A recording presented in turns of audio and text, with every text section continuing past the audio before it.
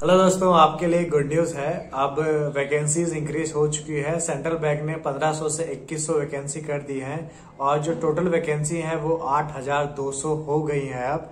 और उम्मीद है कि ये एक अप्रैल आते आते तक 9000 हो सकती है।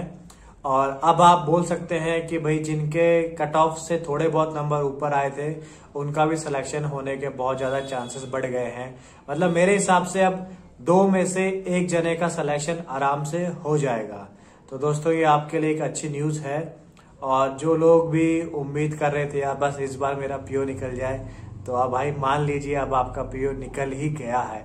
आप बस भगवान से दुआ कीजिए कि वैकेंसी और निकाले, क्योंकि जितनी ज़्यादा वैकेंसी निकलेंगी, उतने ही आपके सिलेक्शन होने के ज़्यादा चांस रहेंगे। क्योंकि यार पीओ बनना इतना आसान नहीं होता कि उसके लिए आपको पहले प्री निकालना पड़ता है, मेन निकालना पड़ता है, फिर इंटरव्यू निकालना पड़ता है।